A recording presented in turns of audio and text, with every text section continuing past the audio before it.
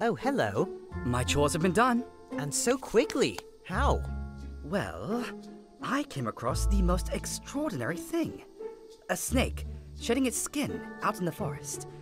And I thought that we could go on a walk to see it, like we used to. And this one I could draw in my journal.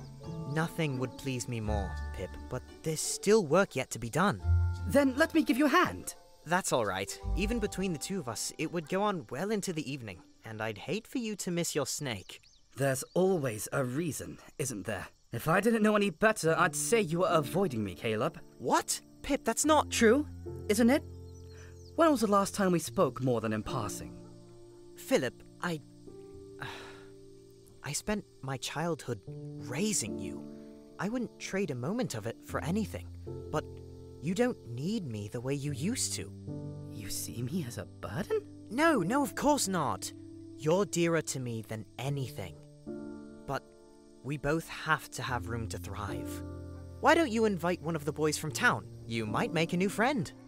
You know how hard I've tried to fit in. They don't want anything to do with me. Us. We only have each other. Caleb Wittebane, I've yet to meet a potato that will plant itself, sir. You must excuse me. It seems as though my singular talent is sorely needed. We'll talk tonight, I promise. Don't trouble yourself. I know you'll always be there for me. Right? Of course, I'll always be there.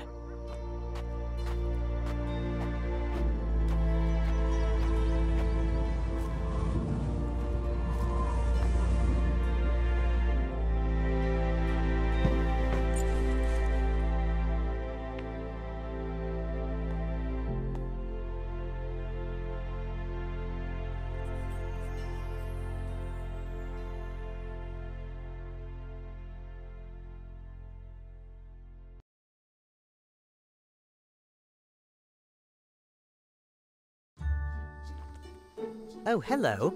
My chores have been done. And so quickly. How? Well, I came across the most extraordinary thing a snake shedding its skin out in the forest. And I thought that we could go on a walk to see it, like we used to. And this one I could draw in my journal. Nothing would please me more, Pip, but there's still work yet to be done. Then let me give you a hand. That's all right. Even between the two of us, it would go on well into the evening, and I'd hate for you to miss your snake.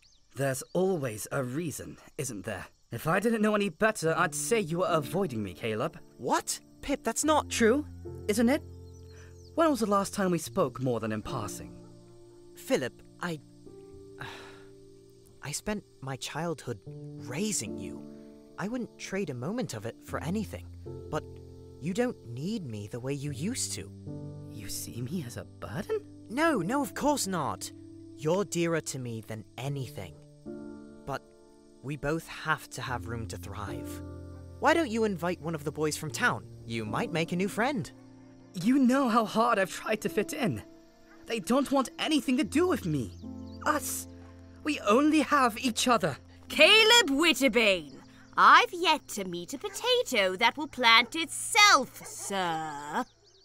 You must excuse me. It seems as though my singular talent is sorely needed. We'll talk tonight, I promise. Don't trouble yourself. I know you'll always be there for me. Right? Of course, I'll always be there.